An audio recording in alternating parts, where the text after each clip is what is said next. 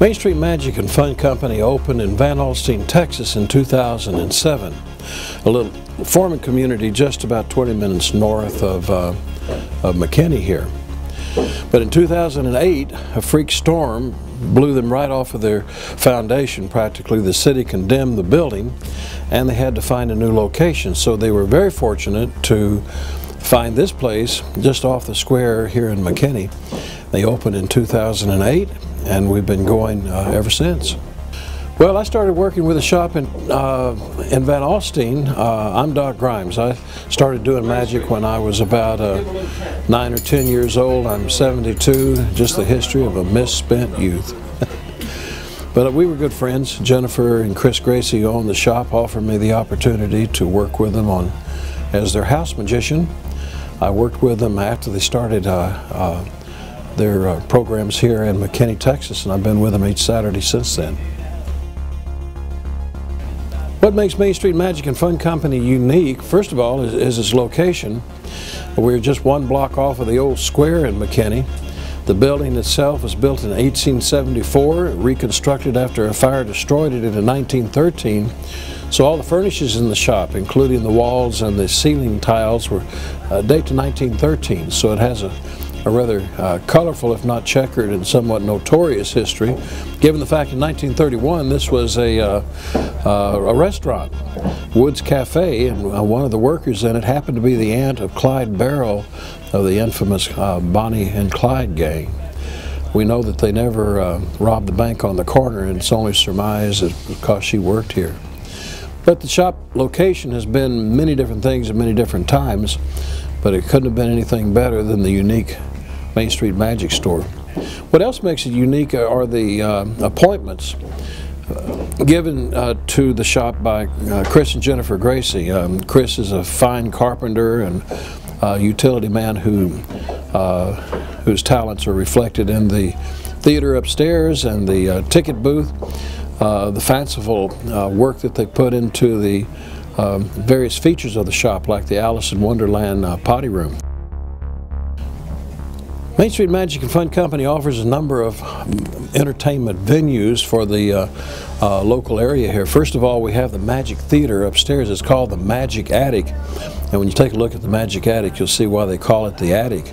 It features a small Victorian style stage, and from that we perform both public and private parties. We have a two hour birthday party, which includes an hour and 15 minute uh, uh, magic show. We float the birthday honoree right there on the, on the stage at the end of it. They get a free bunny to take home with them because every young magician needs a bunny to pull out of a hat, right? We also have the second Saturday shows, uh, which feature uh, various magicians from the North Texas area.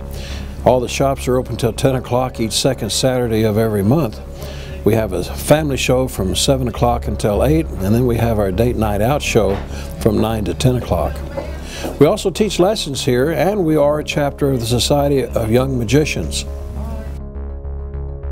Magic is an art form. It's like learning how to play a classical piano. Um, magic happens in the spectator's mind uh, through the eyes. Uh, obviously, the magician has to be a skilled performer, uh, and that performance skill evolves over the uh, over the years that the person is willing to invest in them. That doesn't mean that every magic trick is particularly hard in its technique. The problem is to make it so smooth and the technique so invisible that what the uh, viewer, the spectator observes is something next to impossible. In fact, with no explanation for it, it must be magic.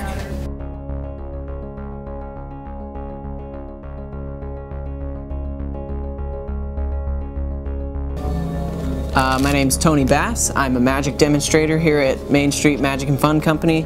I uh, demonstrate the tricks and sell the tricks to uh, any, anybody that comes in and is interested in learning magic. Uh, I started working here in about the summer of 2015. Uh, I came in one day as a I, I was a regular customer. I would come in every week on Saturday uh, and I would spend my paycheck here. Uh, and so eventually I just kept coming in and I would I would do magic for the customers and the owner of the shop Chris uh, saw me performing sponge balls uh, for a group of people and he really enjoyed it and, uh, and that was it. He asked me if I was interested in, in doing demonstrations for the shop and I said absolutely. So that's where it went from there.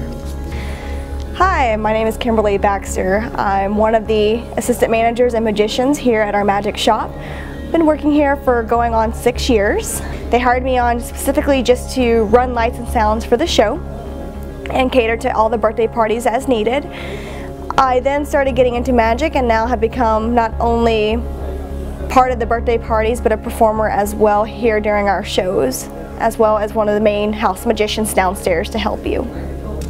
I love working as a magician. I mean, if you if you have a job that you love to do, then you never have to work a day in your life. Uh, if you come here and you just enjoy yourself every day, it's not like I have to go do any back-breaking work.